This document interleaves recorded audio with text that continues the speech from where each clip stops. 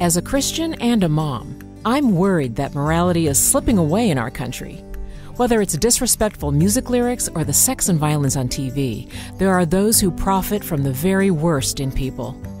Now, I've read that congressional candidate Ben Quayle helped create one of the most offensive websites I've ever seen.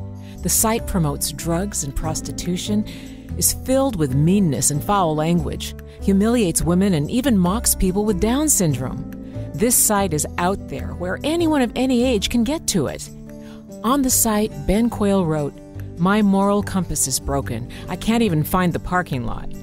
With a broken compass, I don't think Ben Quayle is going to be the one who takes us in the right direction. Please, please tell me there are some things we can say no to, even in today's society. I'm Jon Hulburd, and I'm a father of five.